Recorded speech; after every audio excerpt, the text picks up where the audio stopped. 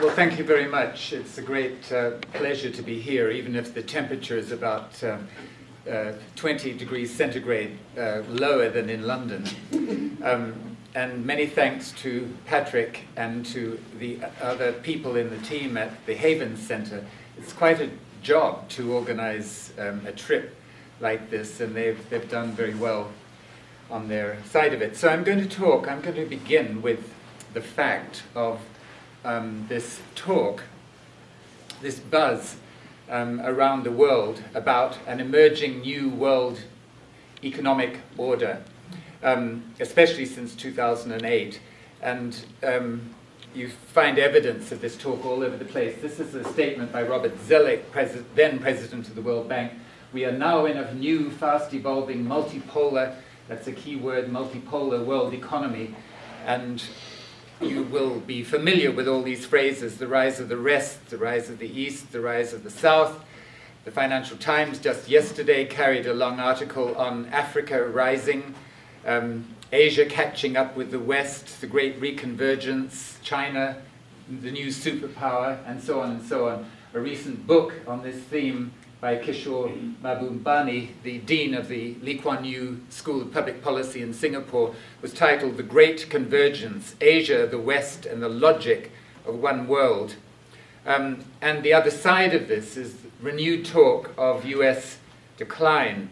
And this same Kishore uh, Mahbubani was quoted by uh, Tom Friedman in the um, International New York Times, as it's now called, just a few days ago, um, all over Asia, people are asking, can America manage itself? And what are the implications for us in Asia if America cannot manage itself? Um, and then there's this wonderful um, comment from the official Chinese news agent uh, after the US government shutdown. It is a good time after the shutdown for the befuddled world to start considering building a de Americanized world. I'd never heard this word, de Americanized, uh, before, but um, it may be one that we're going to be more familiar with in the future.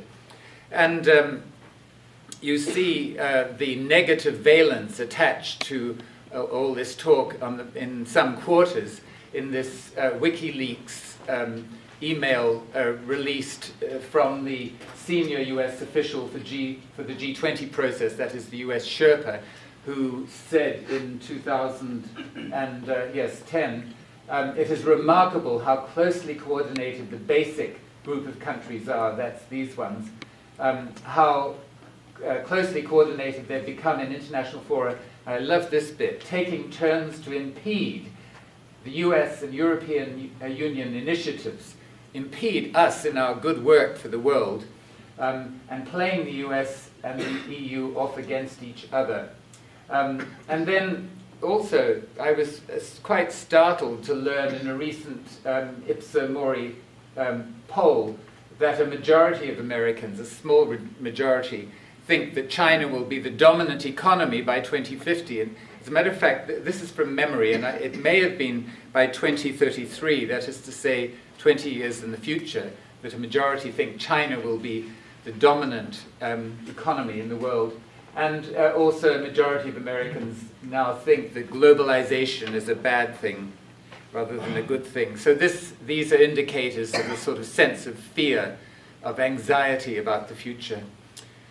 Um, if we ask what are the what are the indicators of this idea of the rising uh, weight, the rising weight of the South, um, well, one of the main ones, uh, relative growth rates and something important has happened, there's no question. You can uh, infer that uh, having set out the conventional wisdom, this talk, I'm going to question the accuracy of this talk, but there is no doubt that over the 2000s, both the middle and the low income countries have grown at some four to six percentage points faster than the high income countries, high income countries. And this is the first time in history that such um, um, a phenomenon has happened. So this is quite significant. Um, and another indicator in the same direction, if you take the top 10 biggest economies in terms of real GDP. That's not in terms of purchasing power parity, but in terms of real GDP at market exchange rates. In 1990, the top 10 included the G7, plus Spain, plus Russia at number 7, Brazil number 10. That was it. Um, then in 2010, 20 years later, the G7 was still there. That's important to note. The G7 was still in the top 10, and then joined by China at number 2, Brazil number 7, and India at number 10. And um, so this is um, much the same thing. This is an, uh, uh, these charts show the share of world GDP um, for China and India from 1990 through to 2000, sorry, 1980, 1980 through to 2010. And if you just look, for example, at, um, uh, at market uh, GDP at market exchange rates, I hope I don't need to explain to, to an audience of sociologists why, for some purposes, market exchange rates are more relevant than purchasing power parity exchange rates. Um, you can see how China has gone from 1980, 2% of world GDP to something um, of the order of over 9% of world GDP. India um, has gone from 2% to, well, uh, sorry, uh, at, um, yeah, at market exchange rates, India has not actually gone up very much at all, but it has gone up significantly in terms of purchasing power parity. And these kind of things, these trends, um, are important in, support of the argument that we are entering, we have entered um, a new uh, international economic order. So there's been a kind of a gestalt shift um, in how the South and how developing countries um, are seen, which I think is analogous to this dramatic gestalt shift that's going on right now in how the Arctic is seen. The Arctic used to be seen as a kind of distant periphery. It's now being seen as a frontier, and that does make a very big difference. So, in the same kind of way, the South, or parts of the South, are now seen as a frontier rather than a periphery, a frontier meaning um, full of new opportunities and also new threats. But the question is, that's the shift. The question is, what's the reality? Um, and I'm going to start with this question of multipolarity. Multipolarity, obviously, in the economic and financial sense, not in the bombs and rockets sense.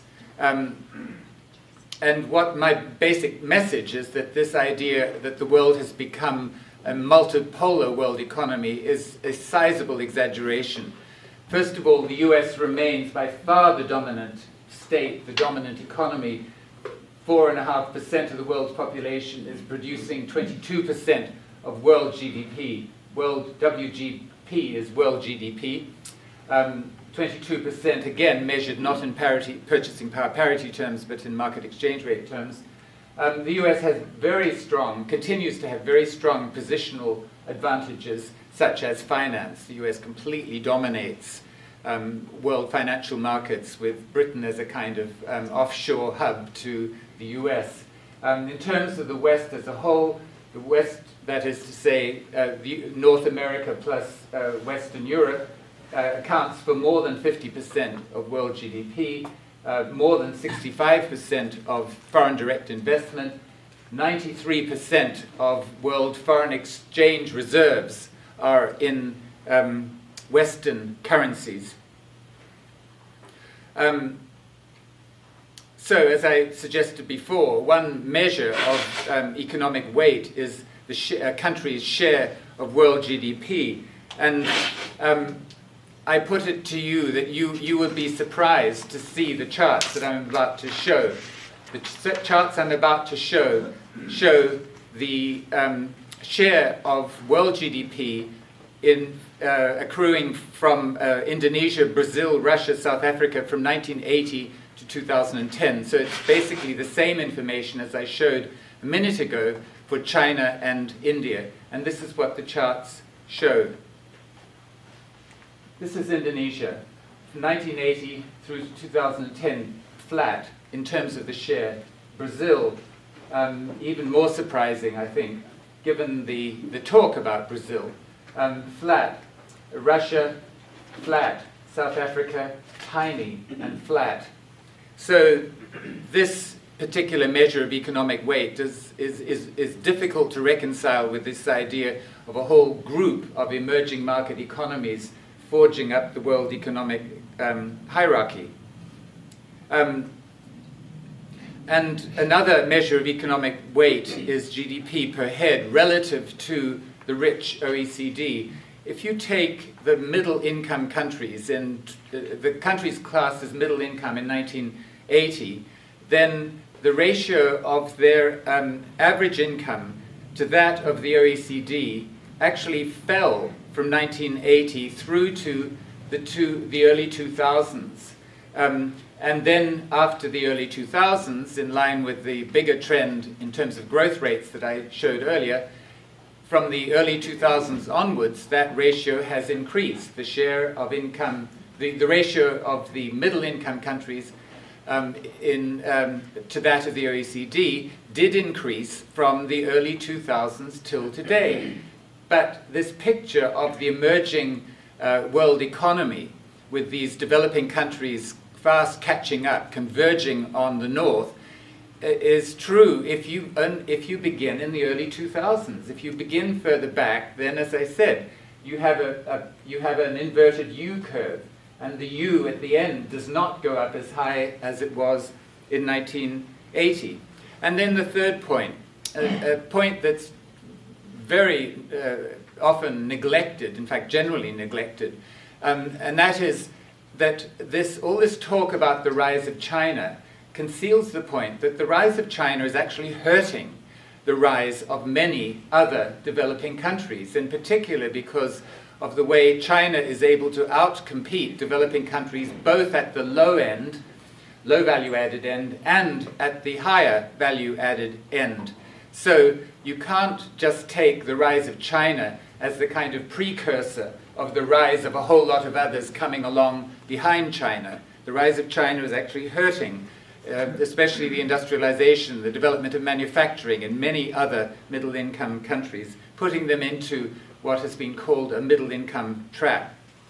So that's what I want to say about multipolarity. My point is that this idea of the world as a new multipolar economy is substantially exaggerated because most of it is due to one country only. And that, of course, is the biggest, the, sec- the biggest country in terms of population, but certainly not the biggest in terms of GDP, namely China.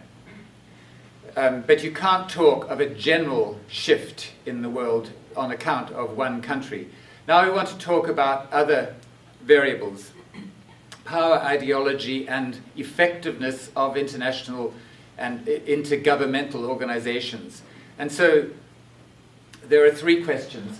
How much of a shift has there been in the distribution of power in favor of DCs, DCs developing countries? um, as seen in, in international organizations, intergovernmental organizations, um, and thinking of power in terms of presence at top decision making fora, um, autonomy, and also, thirdly, influence. Um, then the third question how much of a shift in dominant ideology has there been? In particular, to what extent is neoliberalism in retreat? Neoliberalism meaning essentially the idea that the market is the best means, the best mechanism for achieving human ambitions and should always be preferred, except in exceptional circumstances, to any kind of allocation of resources through um, authoritative mechanisms such as the state. Um, to what extent has neoliberalism been in retreat in these past one to two decades? And thirdly, how much of a shift in effectiveness of international organizations has there been? So, if you have a hypothesis that big economies are also more powerful, are also powerful economies, then you can think of the question in this kind of way. Uh, this is economic weight, this is, say, political power, this might be ideology, you could put effectiveness of international organizations on the same axis. And so if you have, say, an increase in economic weight, of, say, a group of countries, developing countries, what is the effect in terms of their political power? If it's one to one, then obviously you would expect movement on the 45 degree line. Um, if it's less than one to one, you would expect movement somewhere out here.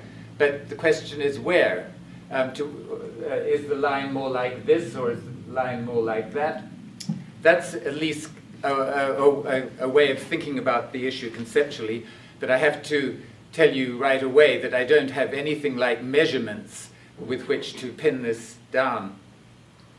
What we can be quite clear about, and this is the one firm conclusion, is that um, uh, international organizations have become more inclusive, especially since 2008. And I'm going to spend a bit of time on the G20 because the G20 is often held up as an example of how we are in a new emerging international economic order, and this is the G20 is the governance part of this uh, new order. So just let me remind you, for those of you who don't know and love the G20, um, it began in 1999 when the G7F, F stands for finance ministers, the G7F, comprising of these countries, decided uh, as they were debating what to do about the East, what was called the East Asian crisis. It's known, in, by the way, in East Asia as the IMF crisis, not the East Asian crisis. But the, uh, at that time, 1999, this crisis had spread out of East Asia into Latin America, into Russia, and the West was very worried that the crisis might ricochet back into the West. So um, the G7 finance ministers met, and they recognized that um, for them to sit at the table and try and figure out what to do about the East Asian crisis without having East Asians and maybe others at the table with them was a bit silly. It would be like the captain of a ship who stands at the wheel, moving the wheel backwards and forwards, knowing that the wheel is not connected to the rudder so that nothing's actually happening. The G7 finance ministers recognized they would be in that same position if they didn't bring into their discussions representatives of the countries that were in crisis. And so, um, to cut a long story short, and it is an interesting story, um, they decided to expand themselves to the G20F finance ministers. And the G20 comprised the G7 plus Australia plus the EU, which is somewhat anomalous, and then 11 developing countries, namely these ones. These were countries that described themselves, all of them, as systemically important, or were described by the G7, that's to be more accurate, as systemically important countries, the systemically important countries. And then came the 2008 crash, and the G20 finance ministers um, were upgraded to the summit level, making two levels, namely the finance minister's level and also the L, the leaders level. And the G20L comprised the same countries, together with Spain, which managed to get itself um, uh, uh, an invitation as a permanent guest. Um, and this group of 20 countries now comprises 85% of world GDP, um, 80% uh, of world trade, two thirds of world population, and it declared itself as the successor of the G8, as the main uh, economic council of the world, and indeed as equivalent to the UN Security Council for economic and financial and, and development issues. Um, and it declared itself as a great achievement. Uh, this is uh, one expression of it. Sarkozy never lost an opportunity to exaggerate anything that he was, uh, any achievement he was associated with. So he called it the G20 prefigures the planetary governance of the 21st century. Um, as you will see by the time I get to the end, if this is true, then we're in for a bad time. Um, the G20L has met nine times starting in November 2008. Um, at the first two summits, remember November 2008 in uh, Washington, then the London one in, I think, April 2009, they focused fairly narrowly on three things coordinating macroeconomic stimulus in response to the crash, uh, secondly, financial sector reform, and thirdly, and this is quite significant as in the story to come, reform of the IFIs, international financial institutions, meaning mainly the IMF and the World Bank.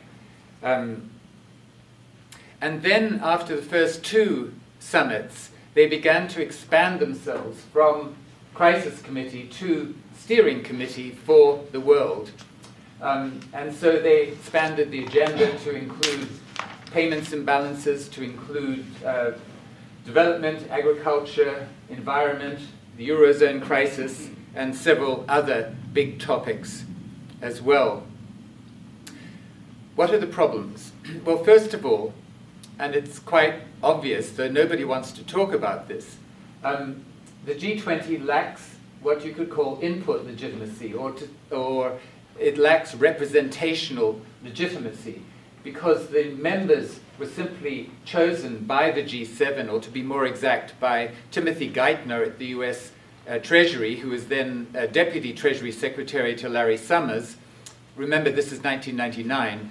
And Timothy Geithner's count, German counterpart, Caio Koch-Weser, and they simply went down, they had a series of transatlantic telephone calls. They simply went down the list of countries saying, yes, this one should be in, no, no, no, these ones should be out.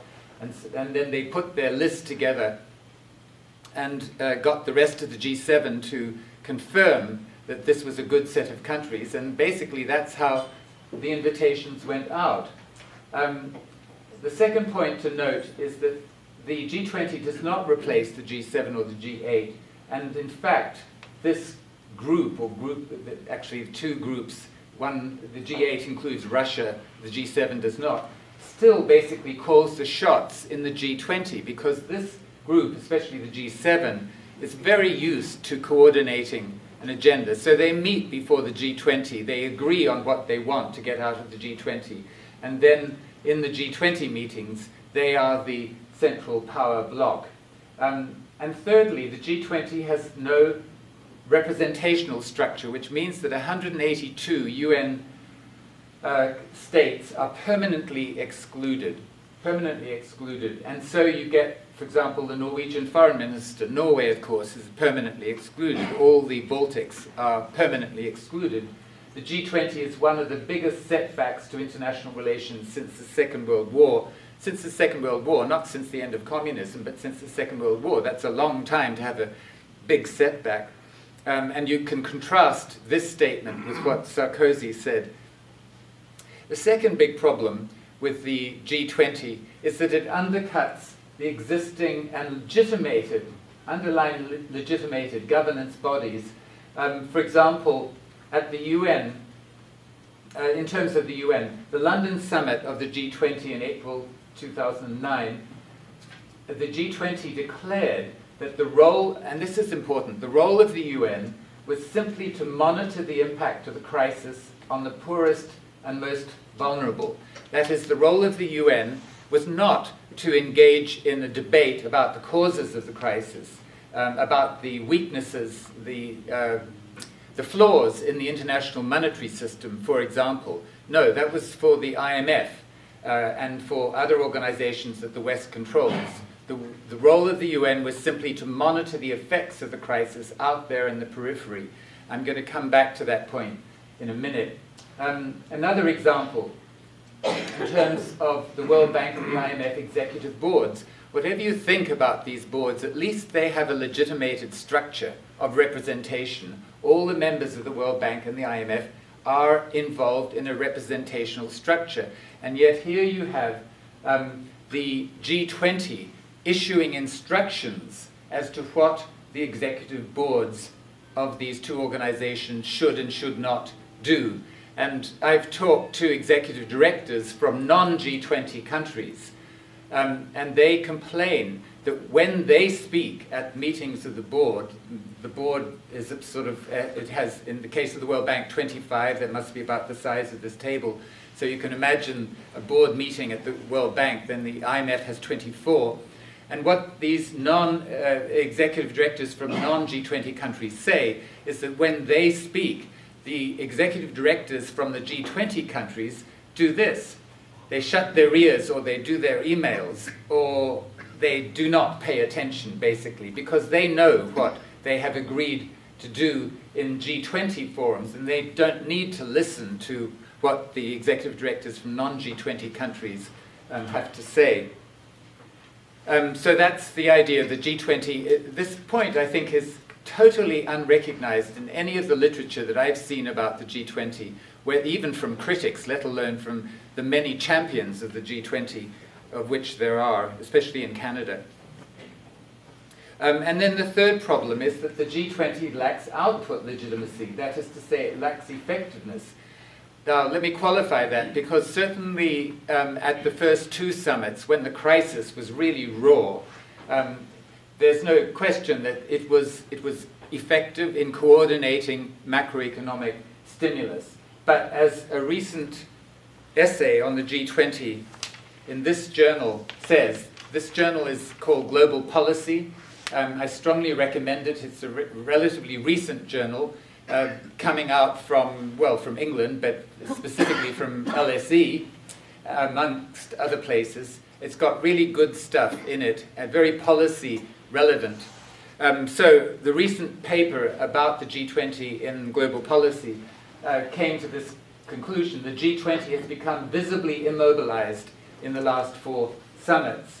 And one of the main reasons is to do with what I showed before. The G20 has taken on more and more issues in its role as the steering committee, but as it takes on more and more issues, so the cleavages within its membership become sharper, um, and new cleavages are introduced as new issues come onto the um, agenda. In particular, the G20 has been uh, totally ineffective in coordinating um, uh, responses to one of the fundamental problems facing the world, which is the problem of macroeconomic uh, imbalances, that is to say, payments imbalances. Some countries running large surpluses, others running large deficits.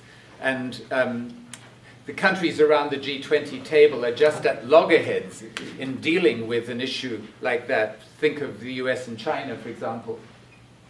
Um, so that's the G20. Let me talk a bit about the WTO. The WTO has been in a kind of slow burn legitimacy crisis since the late 1990s. And in particular, because more and more members, especially from developing countries, have, been, have criticized the WTO for its excessive focus on expanding neoliberal principles. Of course, that's not the language which is used they don't talk about neoliberal principles, but that's the gist of it. Um, because, uh, the point being that developing countries complain that the um, policies of the WTO, coming out of the WTO, steered by the West, focus on, give priority to protecting the growth of cross border activity by private entities and shrinking the scope of state um, regulation, and hence intruding too deeply into domestic regulation. So, for example, giving um, priority to um, tobacco companies that wish to um, have free trade, free entry of their tobacco products into, let's say, Thailand, when the Thai government is trying to restrain uh, tobacco consumption in the interests of public health, but WTO um, policies and decisions have um, given priority to the tobacco companies because that is in the spirit of free trade, that is to say, in the spirit of expanding neoliberal principles. And similarly, fishing companies have uh, won victories in the WTO um, over efforts of governments to restrict fishing within their waters. And uh, the same thing applies to various uh, measures of consumer protection. Um, so, in response to these criticisms coming especially from developing countries, um, there has been a response, namely the appellate body, the body that uh, takes disputes, trade disputes, um, has become, over the past decade or half decade, has become more cautious about impose, imposing a vision of optimal regulation on domestic policy. And it's been giving more emphasis to the question of the transparency and adequacy of states' procedures, their procedures for judging um, public health, for judging uh, consumer protection, for judging environmental protection. Um, uh, and to the point where if it judges that a country's environmental assessment procedures are adequate. It gives more weight to state regulation versus um, the interests of companies that want to override, foreign companies especially, that want to override um, countries' environmental protection uh, restrictions. Um, so, what has been happening then through this growing caution about imposing a vision of optimal regulation is that um, states, especially developing countries, have gained more autonomy for domestic regulation. But that's a long way from saying that this um, process is leading to the emergence of new non-liberal, non-neoliberal, neoliberal, non-neoliberal principles governing international trade. It's not uh, the point about expanding state autonomy is not the same as creating a body of non-neoliberal principles for international trade. That second point has not been uh, happening.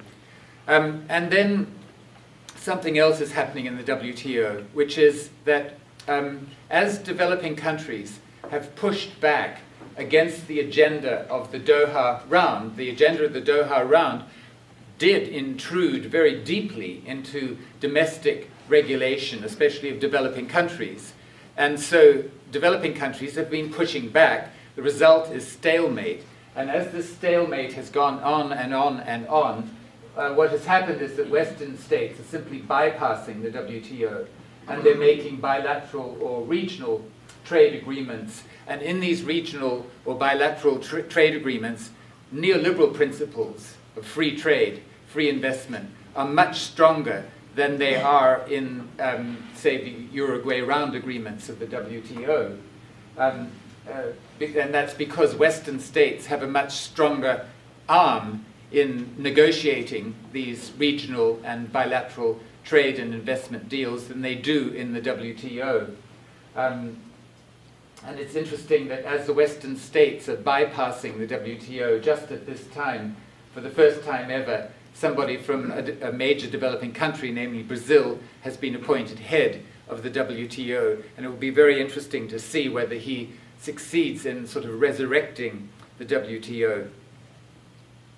Um, so that's the WTO. I've talked about the G20, the, uh, the WTO. Now I'm going to talk a bit about the, what's happening in the IMF. In the IMF, the West very much continues to control it. It's always appointed the managing director, appointed the last one as well. Um, Western Europe is heavily overrepresented in the executive board. Western Europe has eight seats out of 24, and when Spain is the head of one of the other constituencies, then, which includes Venezuela and Mexico, then Western Europe has nine seats out of 24. This is something that makes the Americans very, very mad. And the Americans have been pushing um, the European states to reduce their seats to one or maybe two, one from the European Union, uh, one, one from the, what is it, the Council, and one from the Commission, or something like that. But somehow or other, the Americans have been very keen to get the Western European representation down. Um, the, the third point, and this is often not appreciated, the US has always appointed the number two person in the IMF. Um, and the US has a veto on supermajority decisions. Uh, the US Congress, Congress people tend to regard both the fund and the bank as instruments of US foreign policy, and to the extent that the fund and the bank don't follow US foreign policy, then Congress tends to think that it must cut its funding for both in order to teach both a lesson that they must remain compliant with US wishes there are statements from Congress people which are almost as explicit as I've just said. Let me say a bit more about this supermajority issue. Um, a supermajority is required to make any changes in the uh, constitution of the IMF, also the World Bank, or the constitution is called the Articles of Agreement. The supermajority is currently set at 85%, and so the US share is always at the point where the uh, US can wield a supermajority and is the only country able to wield a supermajority on its own. So the US currently has more than 15% of the votes. The Western Europeans want to lower the supermajority to, for example, 75%. And the reason is because if they all if the Western Europeans cooperate, then they can exercise a supermajority um, with, seven, with, when it's set at 75%. They could exercise a veto if the supermajority is set at 75%. Interestingly enough, the BRICS, and I'm going to come back to the BRICS in a minute, they join with the US in opposing the lowering because they say the only people to benefit from the lowering would be the Western Europeans, and also because um, they know that the BRICS combined share is more than 15%. So if they cooperate, they can exercise a veto. And that raises the question what do they want to exercise a veto about? And um, I was talking to some executive directors from the BRICS countries just uh, very recently, and one of the things that they particularly emphasized they want to keep the, vote, the veto for is to stop uh, revision of Article 6. This is the key article um, of, in the article, the key article in the Articles of Agreement of the Fund, which gives member states the right to manage, that is code for restrict, capital flows across their borders. The point here, of course, as you'll know, is that the US and the Europeans have for long wanted to make free, a commitment to free capital mobility, free capital movements across the border, a condition of membership of the fund. Um, and the BRICS want to make sure that they can veto any move by the US and Europeans to modify this so as to remove this right to manage. Um, and so this is an example of um, a BRICS pushback against neoliberal principles. I'm going to um, shortcut this discussion of the World Bank, except to make uh, a couple of points. Um, as I mentioned earlier, the G20 instructed the governing bodies of both the bank and the fund to um, undertake voice reforms, and the G20 even said how much of a shift in the share of votes should go from the advanced countries to the developing countries. And in the case of the bank, the G20 said, you, the World Bank, must shift at least three percentage points um, from the part one, that is the rich countries, to the part two, that is the developing countries. And so the World Bank, the executive board, and the staff undertook agonizing negotiations going on from 2008 through to 2010. Uh, negotiations described by one participant as 24 7. On and on and on went the negotiations, with people negotiating at the second decimal point. So the negotiations were, for example, whether this state should get 2.81% or 2.82% of the votes. This was a matter of life and death for these um, executive directors. And so then the headline went out um, that there was actually a more than three percentage point shift in the share of votes from the part one to the part two countries. Well, in um, Early this year, in the journal World Development, I and my Danish collaborator wrote a detailed study of the World Bank voice reform, and we concluded that, that in reality, uh, far from the shift being more than 3%, the shift was actually 0.46%. In other words, practically nothing. And it was a stroke of genius as to how the bank managed to generate the headline and apparently comply with the G20 and actually do almost nothing. The second point to make about the World Bank is that now 40% of the bank's operational budget, 40%, 40%, an astonishingly high figure, comes from trust funds. And trust funds um, are funds that a country, say Japan or the US or New Zealand or Norway, give to the bank, whereby a bank project officer can use the funds uh, from a particular country's trust fund for a particular project uh, by employing nationals from the country and from doing things in the project that the country from which the money comes wants to be done.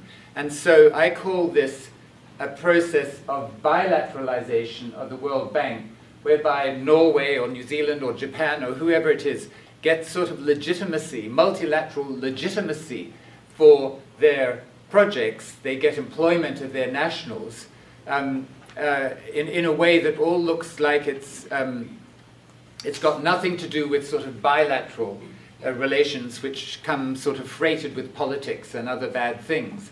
It makes it look very kind of technical, but actually it's giving, it's a mechanism by which um, individual part one countries get to exercise quite a lot of influence over the operations of the World Bank. And I do find this figure of 40% of the operational budget quite astonishing.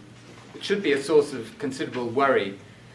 Um, I want to, so that's the World Bank. I want to say something about UNCTAD. This is an organization I know and love. I've been involved in, in the negotiations around the mandate of UNCTAD.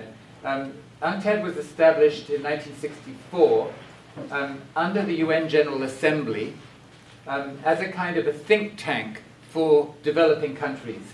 It's a tiny organization, and yet it has, um, it was the source of ideas in the 1970s and the 1980s of a new international economic order.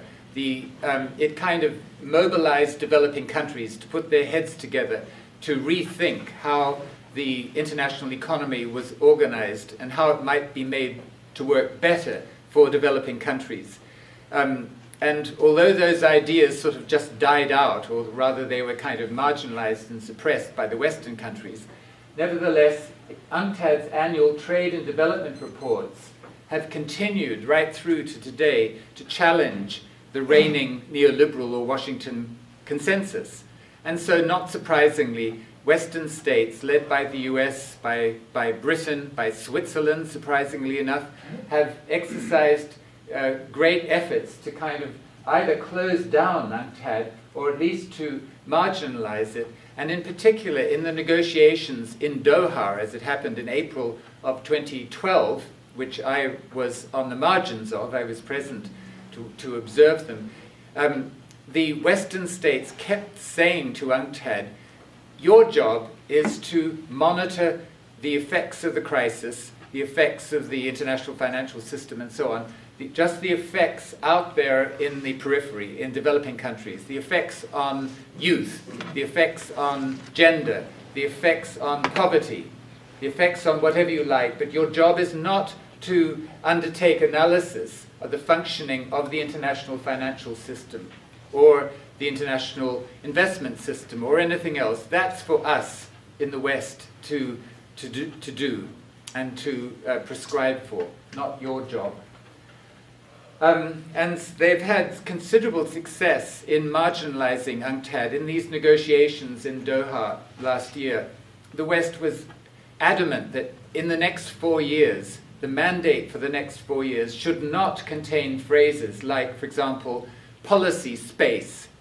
That phrase was forbidden. Uh, should not contain the words an enabling state. That phrase was forbidden by the West.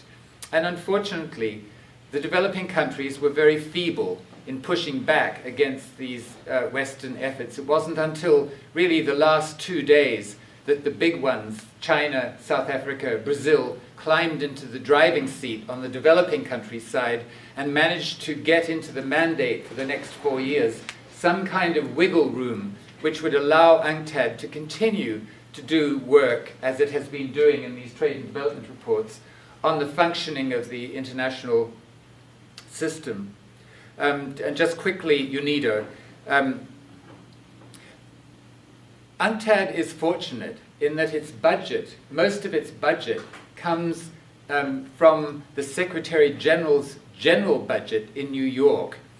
Um, and to that extent, it is protected from, to some extent, uh, protected from direct withdrawal of funding by um, the part one, that is the, the Western states. Um, whereas UNIDO uh, depends on direct contributions from its member states. It does not get its budget out of a central UN budget in New York. And the Western states have been increasingly cutting their budget and actually withdrawing from the membership of UNIDO. UNIDO is the United Nations Industrial Development Organization. And so the US, the UK, Netherlands, they've withdrawn, they've cut all their funding. They're pressing France to withdraw. France will probably withdraw. You, um, and they've been using the argument this is uh, an agency dealing with international uh, industrial development. We have plenty of firms, McKinsey and all those other firms, that deal with industrial development. So let the private sector deal with industrial development. We don't need a public agency to do that kind of thing, least of all one under the UN. Um, and so, just at this time of acute crisis, a Chinese has recently been appointed to head UNIDO, just as a Brazilian has been appointed to head the WTO, which is also in crisis. Um, another quick word about UNDESA. DESA is the Department of Economic and Social Affairs in New York. Um, and for a long time, DESA was the only part of the whole UN system, together with UNCTAD, which expressed non neoliberal um, analyses. But recently, um, a Chinese Undersecretary General and a Pakistani Assistant Secretary General have been put in charge of DESA, and they've basically turned it into an intellectual wasteland. What their agenda is, I have no idea, but the basic point is that now only UNCTAD, uh, within the whole UN system, that is including the IMF and the World Bank, is, is a source of, um, and actually only part of UNCTAD, because other parts of UNCTAD are just like the OECD. Part of UNCTAD is the only source of non neoliberal ideas coming out of the whole UN system. Um, uh, I'm not going to dwell on this except to say that um, a whole, if you look across other international organizations, you see that um, the G20 countries have become um, much more present than they were before. Um, even in the OECD, um, the OECD has brought in um, these countries called the BICS, Brazil, India, Indonesia, China, South Africa, not as members, but as key partners. So um, as the OECD tries to mainstream development across all its operations so that it's less of a club of rich industrialized countries, um, so it is bringing in these countries, these big developing countries, uh, but it can't call them members because they don't meet the membership criteria. So it calls them instead key partners, just like Spain is brought into the G20 under the name of permanent guest.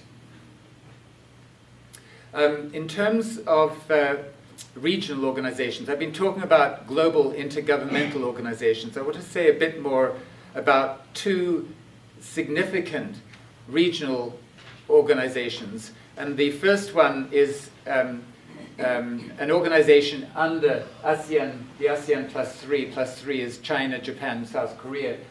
Uh, it's called the Chiang Mai Initiative Multilateralization. It's a god awful name, but that's what it's called. It was established in 2000 in the wake of the East Asia crisis um, in order to provide a regional alternative to an IMF rescue. The point is that during the East Asian crisis, some countries in East Asia had overflowing foreign exchange reserves, China, for example, Japan, for example, and yet there was no mechanism by which they could use their overflowing reserves to help countries like Korea or Thailand or Malaysia or Indonesia that were in desperate need of foreign exchange. There was no mechanism. So, in the wake of that, they got together and they said, look, let's have a, a currency pooling um, arrangement such that if there's another crisis um, within our region, then the country in crisis can draw upon the foreign exchange reserves of a country which has surplus foreign exchange reserves. And that was called the Chiang Mai Initiative. So the whole idea of this was to get more autonomy from the West, the West meaning the IMF. Strangely enough, from the beginning, this Chiang Mai Initiative multilateralization built in what was called an IMF link. And what that meant was that for a country uh, to, let's say, Korea, suppose Korea went into crisis, for Korea to borrow from uh, this Chiang Mai Initiative pool of foreign exchange, um, to borrow more than a very small amount, the country would have to be first under an IMF program, under an IMF standby program. And that would mean that the IMF would be putting all kinds of conditions. The IMF, run by the West, would be putting all kinds of conditions on, in this case, Korea, as a condition of Korea borrowing from the Chiang Mai Initiative currency pool. And you think, what? The whole point of this was for these countries to escape dependence on the IMF, and they've built in an IMF link from the beginning. And the basic reason was, um, uh, was a moral hazard. Uh, the, the worry was that um, was this, uh, that uh, the Chiang Mai initiative would have to put conditions on its loans, because otherwise, if Korea or Indonesia knew, if the governments knew that they could get unconditional loans on very good, very soft terms from the Chiang Mai initiative, they would have an incentive to be reckless in the way they ran the economy, uh, knowing that there would be this backstop of easy borrowing. Um, so that was the moral hazard problem. Um, so, and therefore there had to be conditions attached to loans from the Chiang Mai initiative. The worry was um, that the distrust between China and Japan, which were the big foreign, uh, foreign exchange surplus countries, the distrust between China and Japan was so great that everybody was worried that if um, a country, say Indonesia, went to the Chiang Mai initiative, got a loan, then either China or Japan would come under the table, under the radar, and give a loan without conditions in order to buy favor, buy goodwill from the government in crisis. And this would undercut the conditions of the Chiang Mai initiative. Um, and so the IMF link was uh, instituted in order to avoid this problem because it was assumed that the IMF would be able to find out if this kind of thing was going on. And um, so that, that is part of the design. It, it didn't, um, it didn't uh, create the kind of autonomy that was intended.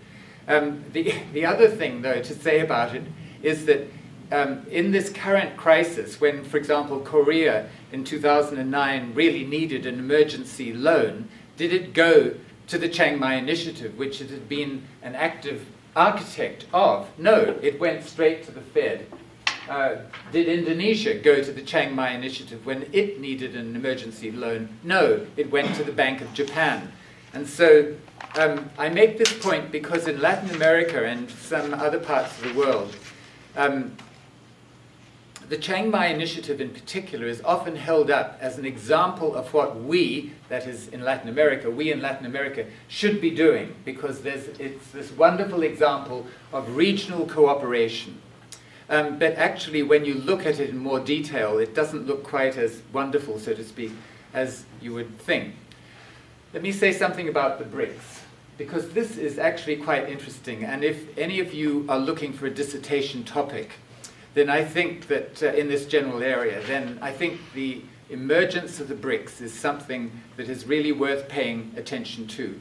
I am astonished at what I learn is actually happening. If you consider the history, um, the BRICS came into existence in the form of an acronym. That is, Jim O'Neill in Goldman Sachs simply coined the acronym BRICS uh, uh, uh, to bring together countries that had never previously thought they had anything in common. They had very little connection. Um, and yet, having been acronymed into existence, so to speak, they are actually beginning to um, cooperate. Um, it's kind of like, um, it's as though um, all countries in the world whose name begins with M formed a monetary union. You would think that the chances of a monetary union amongst all countries in the world whose name begins with M are precisely zero. And that's what I thought would happen with the BRICS. Let me just run over the history. It all began with a meeting in 2006. Uh, the foreign ministers note, meeting in New York, that's significant. And then uh, there was a BRICS summit. So up from foreign ministers to summit level in 2009.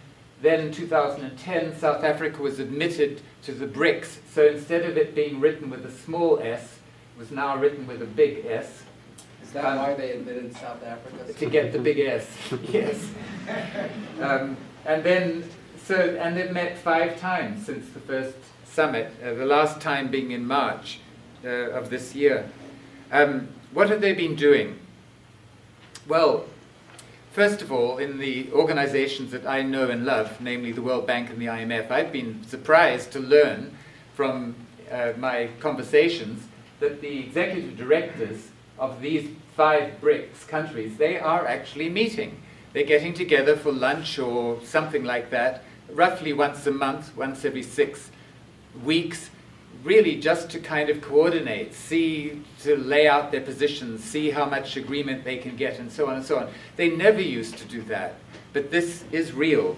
But more importantly, in March 20 of this year, the leaders agreed to create a BRICS development bank and also what they call a contingent reserve arrangement. The development bank is mainly to fund infrastructure and at least initially to fund infrastructure amongst themselves, not elsewhere.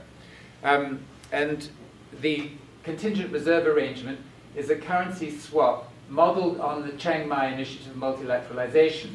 They actually seriously hope to sign these two things into existence at the next BRICS summit, which will be next year in Brazil. And again, the rationale of both of these, explicit rationale, is to bypass their dependence on the West.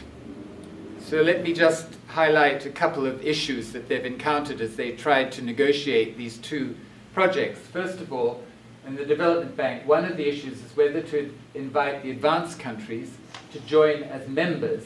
And there's a split. India and South Africa say yes, and Brazil and China say no.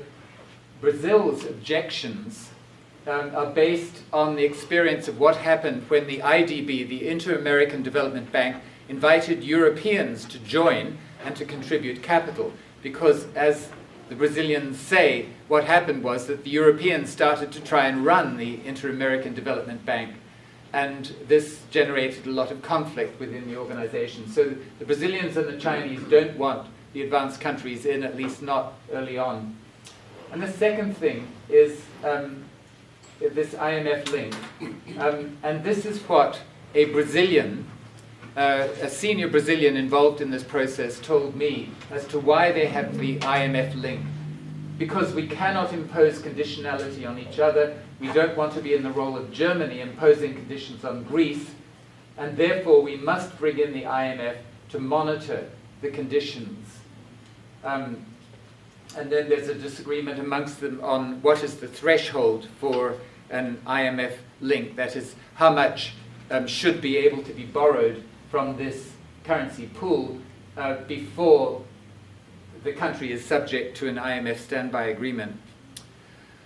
So let me um, conclude. Um, just some quick conclusions. First of all, the West, in terms of this idea of an emerging world economic order, the West still dominates economically by far. It still rules um, with a combination of hard and soft power. So we're not in a post-West, we're not in a de-Americanized world order or, or anything close to it. I've suggested that the idea of multipolarity is exaggerated because very few developing countries beyond China and maybe India have had any significant increase in their economic weight at least using the measure of economic weight that I used. Um, thirdly, all the G7 countries remain in the top 10 economies by share of world GDP, and they remain certainly in the top decile or maybe the top 5% of uh, uh, countries by um, average income. In terms of the idea of the power shift, um, it's certainly the case that now, as compared with, say, 20 years ago, um, a sizable number of non Western economies have become um, interconnected enough with the rest of the world that certain global problems cannot be managed without their cooperation. And so that's why they must be brought in, they must be present at the top table. That was the rationale of the G20.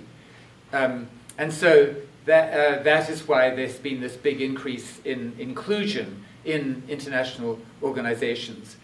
Um, that's the first point. Second point is many developing countries, uh, at the, especially those at the top table, have been able to exercise more autonomy, that is, to resist what Western states have wanted, to say no, to exercise a kind of a veto. But um, they have not been able to take the third step, which is to gain more influence. They haven't undertaken much by way of leadership. Um, uh, we've seen that the West keeps a, a grip on the international organizations, and that's partly because of very strong institutional inertia. And it turns out that the designers of the post World War II international organizations put in very high hurdles to constitutional change. The obvious case is the UN Security Council with the permanent five veto, but also the case of the World Bank and the IMF and its supermajority, and the, uh, the US having being the only state which has uh, the power of veto. One state is able to veto any change. But, also there's, uh, but then, if you go down into the details, you learn this surprising fact in the case of the World Bank, the Articles of Agreement allow any member to veto a loss of voting share. This is called preemptive rights. And what that means is that um, any member that is faced with a loss of voting share of, let's say, from 2.82 to 2.81 can veto that change and, in effect, veto the whole voting system change. And so, in these agonizing negotiations from 2008 to 2010, you had Putin, for example, uh, then Prime Minister Putin, ringing up Zoellick and the president of the bank and haranguing him, saying that if Russia lost so much as 0.01 percentage point of its votes, it would veto the whole thing. And um, the Saudi Arabian counterpart to Putin did the same thing. By the way, the most overrepresented country in the World Bank is Saudi Arabia, and the most underrepresented country relative to its share of world GDP is China. China's given up a great deal because if China did not give up a great deal, then China would get a huge increase in its voting share, and there would be very little for all those other countries. So China has magnanimously agreed to give up a large part of its um, eligible share. Still on this point about power shifts, there's been much less power shift than is generally presumed, and another reason is because the, basically the developing countries have been very ineffective in coming together in power blocks. In particular, the G77 plus China, which is the UN gathering of developing countries, is very ineffective, very easily split by Western countries. And I particularly like this little microcosm. Um, I've been at meetings where representatives of the South Center in Geneva declare to the audience that the South Center is the functional equivalent for developing countries of what the OECD is for the rich industrial countries. And so then I've asked them, well, how many people does the South Center employ? It turns out they employ 10 plus one translator and the OECD employs 2,200 staff. And there could not be a clearer um, illustration of the asymmetry of power. And so, in this kind of context, the rise of this very improbable grouping, the BRICS, is potentially quite significant. And it will be very interesting to see whether in 2014 the BRICS managed to launch these two projects that I've talked about namely the Development Bank and the Contingent Reserve Arrangement, and other projects that they're negotiating. The, um, on, in terms of an ideological shift, not much sign of a retreat of neoliberalism, some sign that developing countries have got more autonomy to resist neoliberal principles, but not um, that there are new principles, non neoliberal principles um, emerging. In terms of effectiveness, um, if you look across many issue domains, what you see is a pattern of um, gridlock, stalemate, um, fragmentation. Um, one obvious reason being the institutional inertia that I talked about before, such that Western states have a built in uh, power advantage, which is very difficult to change because of these things like the rules of the veto, the rules of the supermajority. Um, but secondly, the obvious reason that as you bring more parties to the table, then collective agreement gets more difficult, but especially when um, the newcomers bring very different preferences uh, to bear. And this is illustrated by the case of China. China is number two in terms of its share of world income. So China sits in these gatherings, sometimes wearing the hat of a superpower, um, equal almost um, to the US, at least in the perception of Chinese. Um, but also, China is number 73 or thereabouts in terms of GDP per head, average income.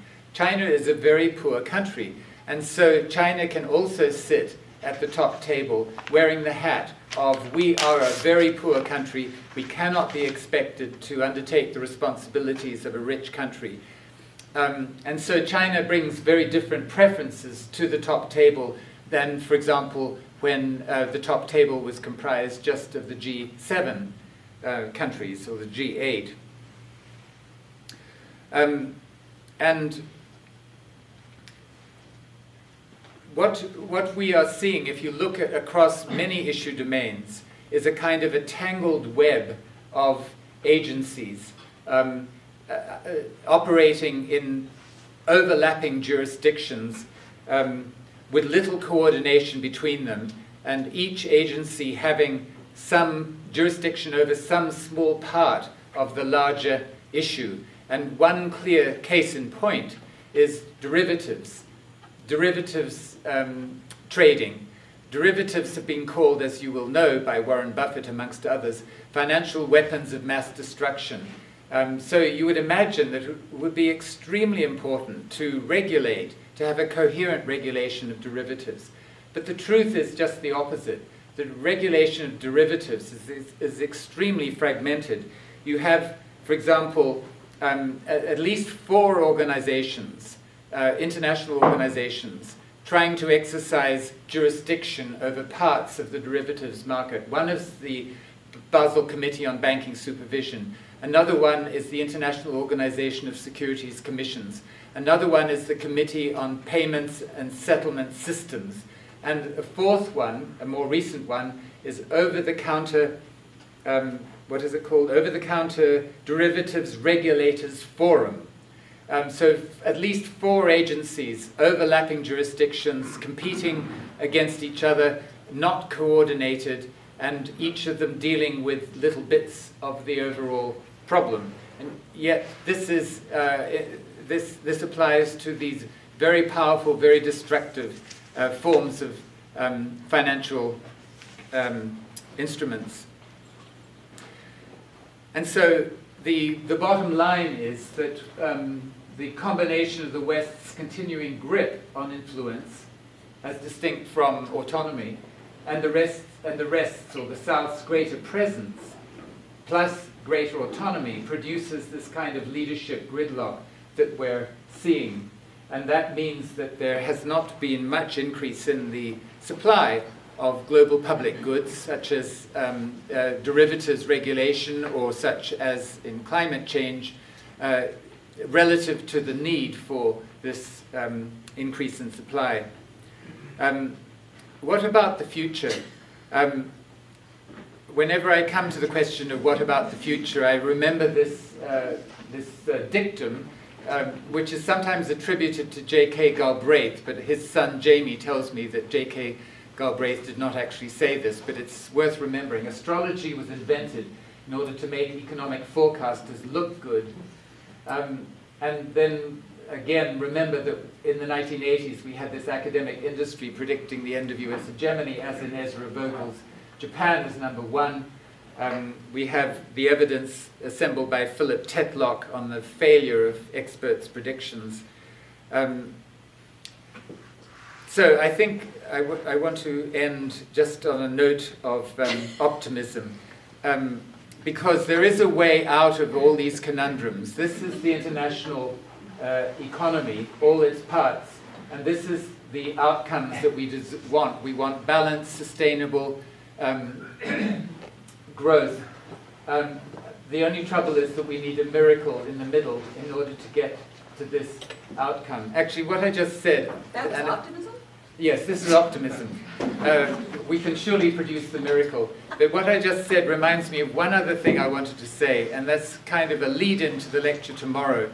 Um, in the uh, run up to the um, G20 summit in St. Petersburg in September of this year, um, a working group of the G20 proposed to alter the G20 um, central objective, uh, the central objective being, as the G20 has defined it, uh, strong, balanced, sustainable growth. Strong, balanced, sustainable growth. The working group wanted to add strong, balanced, sustainable, inclusive gro- growth. And the G20 finance ministers said no, uh, because inclusive, that's, that means social work. That means kind of politics. Uh, that means something technical, we, uh, non-technical. We, we're technicians, we're finance ministers, we don't want to get into politics. So we can't have inclusive growth. Tomorrow I'm going to be talking about this issue of um, inequality um, and its costs, um, and the way that is, those costs have been ignored. And this is an example of how the question of inequality has just been systematically marginalized. So, thank you very much. Um, I'm, I'm happy to take uh, questions. I think we have 15 minutes. Yeah, till 5.30. Just want to remind everyone, both the lecture on tomorrow, which will be in the Lake Room in the Social Science Building, but also Thursday from 12, 15-ish till 2, there's an open discussion seminar where all of these issues can be freely discussed back and forth. The agenda is just defined by who comes and what they And want to and talk that's where about. his nurse also what the miracle is, right? And that's where you'll tell us the miracle. And also, uh, Dr. Wade will be having office hours from 11 to 12 tomorrow morning. So if you want to uh, schedule some office hours, one-on-one time with him, come see me after the talk Uh, where will that be? in your office. Oh, where's my office? 8119. The one you were in earlier. 8119. Uh, do they Just- know where? Just the come see me and we'll be scheduling. 8119 Social Science. Anyway, I'd be very happy to talk to you about any of these and any other issues you want to. But uh, are there any issues now? Um, sh- shall I just, I think you should Yeah. just call. please? Yeah, just two little things. Uh, Among the BRICS, you you mentioned, you know, that China and India didn't want the Western powers in, but the, the two British Commonwealth countries did, you know, and I thought that was maybe the connection, of South Africa and India, that, that they feel that they have a connection to the uh, Eng- English, uh, Anglo-American alliance or something, and would be more welcoming that's just an observation. And then the other thing I, I wanted your reaction on is, is Turkey. Because uh, I know in some formulations the, the brick uh, had, had a T on the end for Turkey. And Turkey was completely left out of the discussion, so I'm wondering uh, what your feelings are about that particular country in, in the scheme of all this. Well, I don't know whether um, there is discussion going on amongst the BRICS about bringing in um, the sort of second tier BRICS, if you will, namely, for example, Turkey, uh, Indonesia, uh, Mexico might be included. I don't know. What I do know is that um, Turkey will have the presidency of the um, G20 in 2015. Australia is next year. Um, and um, the G20 operates a troika system so that uh, the, the governing troika consists of the current year's president and the previous year's president and the prospective year's president. And therefore, Turkey has just uh, gone into the troika because it's going to be president in 2015 and is, um, is clearly going to take its presidency um, of the G20 quite seriously as an opportunity for it to showcase its uh, and uh, make claims for its leadership uh, capacity in um, in these kind of uh, forums. But more than that, I'm afraid I don't know. Yes. Yes. Yes. Um, so I'm just a little bit curious about the, the miracle. And um, the, the question that I have for you is, is uh, you make it sound like um, there's very little sort of movement towards um, a more represent, representative system uh, for you know man, management of global affairs. And and um, I'm curious, where would the pressure for that for a, a more inclusive system come from? Um, I mean, is it because this is happening in such a rarefied technocratic sphere that there's, that there- there's little public concern for the way that this is structured? Um, Is there any kind of um, movement or organizations within the countries that are controlling the system, like the US and, and the UK, to make it more equitable and, and fair? Uh, so where, where would the pressure come from to, to reform um, these systems so that they are, uh, there's less of a uh, US hegemony or uh, sort of a neoliberal bias? It's a good question. Um, first of all, um, this is not exactly a source of uh, acute pressure, but let me direct your attention to this article in Global Policy, the same journal, although not this particular issue. Um, this uh, article lays out um, a, a way of um, abolishing the G20 and replacing it with a new Global Economic Council on a proper constitutional foundation, that is to say, with a proper representational system based on a reformed version of the IMF and the World Bank's representational system. Um, so um, I'm always inspired by the fact that Keynes and uh, Harry Dexter White uh, set to work to uh, to debate, to, to design um, a new kind of international economic order um, after the Second World War. They set to work in 1940, uh, way, way, way before there was even any real prospect that the Allies would actually win war. And they knew that it was going to take forever to kind of go backwards and forwards about um, getting a, uh, a design the de- kind of design that did emerge in 1944 at the Bretton Woods negotiations. And I'm, I, when I was working on this article about uh, the new Global Economic Council, I kept that example in mind uh, because absolutely nobody um, that I've encountered who is uh, got anything to do with the G20 process. I mean, in, in, is in a G20 country and is involved in the deliberations of the G20. Absolutely nobody wishes to touch this issue of the membership of the G20. I've tried to bring it up in, um, in the relevant parts of the British government. They don't even want to discuss it. They change the subject immediately. This is just something not to be discussed. End of story. The, the membership, the constitutional basis of the G20. So um, then you have um, occasional statements like that from the Norwegian foreign minister. Um, the G20 is the biggest setback to international relations since the Second World War. The trouble is that uh, neither in Norway nor anywhere else, for example, who knows, Nigeria, Nigeria is permanently excluded, Egypt is permanently excluded, um, all those Latin American countries except Argentina and Brazil permanently excluded, but nowhere, as far as I've been able to work out, is anybody given, giving any thought to um, how to reform the G20. Everybody's just taking it as given that it exists. Um, they may complain about it, but nobody's giving it any thought. So I just don't see any um, movement um, for reform, at least in terms of this, what is meant to be the apex organization, the steering committee, so to speak, of the world economy. I don't see any movement for uh, reform. Uh, all, all the people who are on it just don't want to even talk about it. Um, so, um, yeah, before, before the miracle, I mean, the, the optimism, the optimistic scenario is that a miracle happens.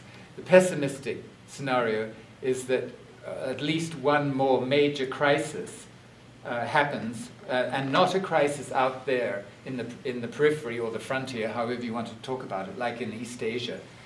Remember, right now, um, property markets in Thailand, in uh, Malaysia, in Indonesia are going uh, in something like the way they were going in the mid 90s.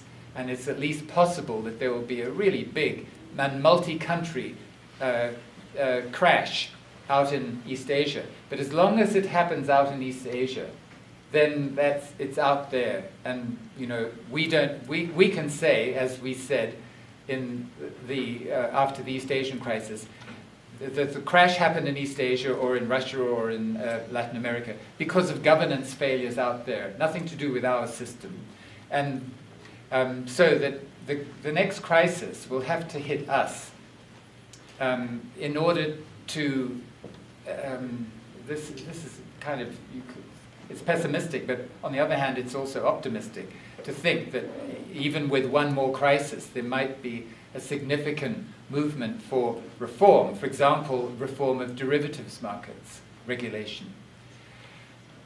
You can see I'm kind of going round in circles because I'm not actually very optimistic. I, I think that the, the forces, especially in the financial sector, that um, actually like the current arrangements that have not suffered very much from the crash and the long recession. They are so powerful in terms of, again, I'll be talking about this tomorrow, um, in terms of things like political party financing, that it's just very difficult to see um, how things can be improved. And it's particularly worrying, I think, in terms of climate change. I mean, I was just reading yesterday on the plane coming over here that in 1985, the um, experts um, who were contemplating how to protect Venice from flooding considered the maximum possible sea rise was 31 centimeters. And now the IPCC uh, models are predicting that the most probable, not the maximum, but the most probable sea rise that Venice will face is 80 centimeters. So it's up from 31 maximum to a probable of um, 80. Um, that's how much um, sea, sea, sea, level rise is likely, in, at least in the case of Venice. And yet, uh, just remarkably little, I think, is being done, whether in Venice or anywhere else, about this looming problem. And it partly reflects this pattern of gridlock, stalemate, fragmentation, in global governance that I've been talking about. That was a long answer. Um, sorry. I go round and round on it, and I just don't see a kind of magic way out, except a miracle. Yes? In, terms of crises, is it a repet, is it the frequency or the depth of crises that matters for in terms of changing the international order, and how can you extrapolate a little bit on what kind of crises you can see is actively affecting um, the change you would want to see? So if you can't well, give us a miracle, now give us the crisis yeah. that's going to produce the miracle. well, if you if you go back and think about Bretton Woods, the post-war order, um, think about what, what was necessary to produce that degree of cooperation amongst a relatively small set of states. At that time, only a small set of states counted, and the two main ones were the US and Britain. Um, but it was the series of catastrophes. It was the First World War, it was the Great Depression, it was communism, it was Nazism, it was um, the Second World War, just one after the other coming down. And um, uh, so it, the degree of cooperation um, uh, expressed between that relatively small number of states at Bretton Woods um, was historically unprecedented at that time and also subsequently.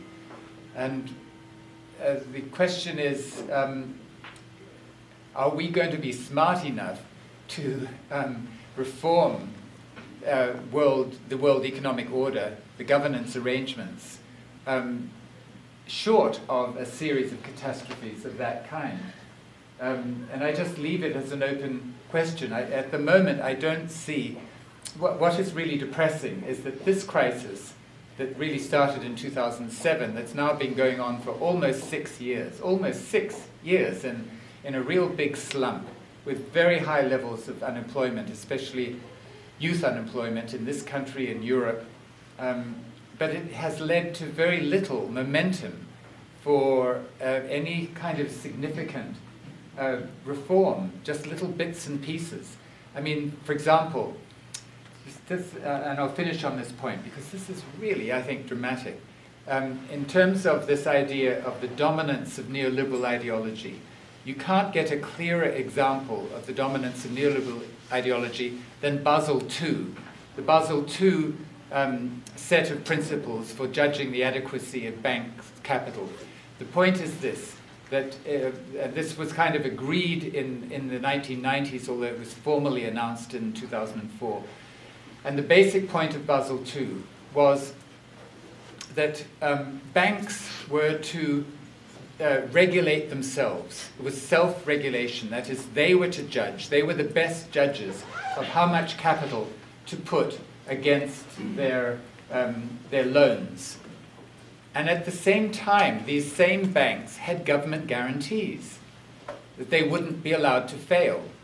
Well, any, anybody, any school child can tell that the combination of government guarantees, the bank will not be allowed to fail, together with self regulation, you decide how much capital to put, is extremely dangerous. It's like giving dynamite and matches to a child. It was bound to blow up. From the time Basel II was instituted, it was bound to blow up, as it did. Uh, so, this is a very sharp, very clear articulation of neoliberal principles. The market knows best. Well, Basel III, recently promulgated, um, it makes a very small change, and the change in a non neoliberal direction, but it's very small. The change is that it, um, instead of assuming, as Basel II did, that if each bank individually uh, maintains adequate capital, um, in a micro kind of way, just bank by bank by bank, then the whole system will be stable. Basel III recognizes that that's not true, that you need also macro-prudential regulation together with micro-prudential regulation. So Basel III calls for stronger macro-prudential regulation.